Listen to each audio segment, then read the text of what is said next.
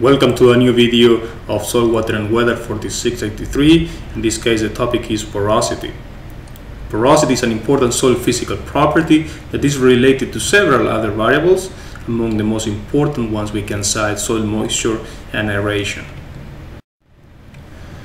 A useful relationship to keep in mind at the time of solving for porosity is the following. Porosity, when expressed as a fraction, is represented by the letter F and is equal to 1 minus the bulk density, represented by the Greek letter rho and the subscript b, divided by the particle density, again represented by the Greek letter rho and the subscript s. Let's start proving this relationship by stating that the total volume is equal to the volume of voids plus the volume of solids. If we then divide each term of this equation by the total volume, we get the following two expressions. Something interesting in this, uh, in this step is that the volume of voids right here divided by the total volume is equal to porosity. Typically, we know what is the total volume of our soil sample, but we generally don't know what is the volume of the solids.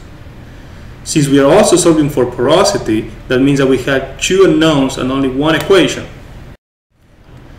Therefore, we cannot solve this unless we find a different way of expressing the volume of the solids. Nicely, and I hope that you remember, density is the bridge between mass and volume. Therefore, we can express the volume of the solids as mass of solids divided by the particle density. If we substitute this relationship into our expression, we get the following, and then if we simplify, we can actually have a much simpler expression. In step 6, it is uh, interesting to notice that the mass of solids divided by the total volume is equal to the definition of bulk density. Also, is it, it is uh, interesting to notice that we can rearrange this formula here and we get the following. We get uh, particle density equals to mass of solids divided by the volume of solids. Now, if we compare particle density and bulk density, we see that the only difference is actually in the denominator. So keep in mind at the time of calculation to not get confused with particle uh, density and bulk density. If we keep going with our proof, we see that we are now very close to our original expression and actually if we rearrange the terms here we can get uh, the initial relationship.